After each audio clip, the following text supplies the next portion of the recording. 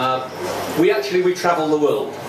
We go to Colombia, we go to South America, we go to South Africa, we go to Australia, and we travel the world to source the best possible stones to bring back for you to set in jewellery, to show in the showcases in Barbados.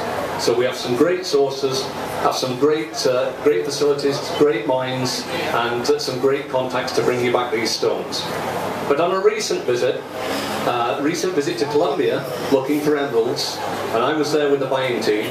We came across we came across a gentleman uh, who had, if anything, had even more enthusiasm than we have for emeralds. This, this, this gentleman is a Colombian. Uh, he had such enthusiasm for emeralds and was able to point us in the right direction to the right mines to source such beautiful stones that we thought, you know what, we have to make more use of this gentleman in future in our marketing campaigns. Uh, his name, his name is Diego Galante very gallant name.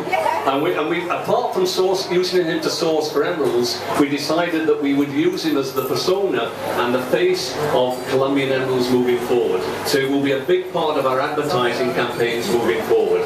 So it's my pleasure this evening to introduce you to Diego Galante, who I have to say is too good looking for his own good.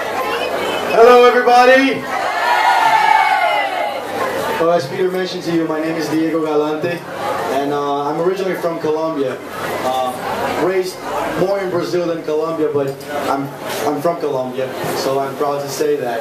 Um, I came to Colombian Emeralds a, a few uh, years ago, and I presented to them a couple of the treasures that I brought back from the mines of Muzo and Peñas Blancas, and uh, apparently they liked it a lot, and they started doing business with me.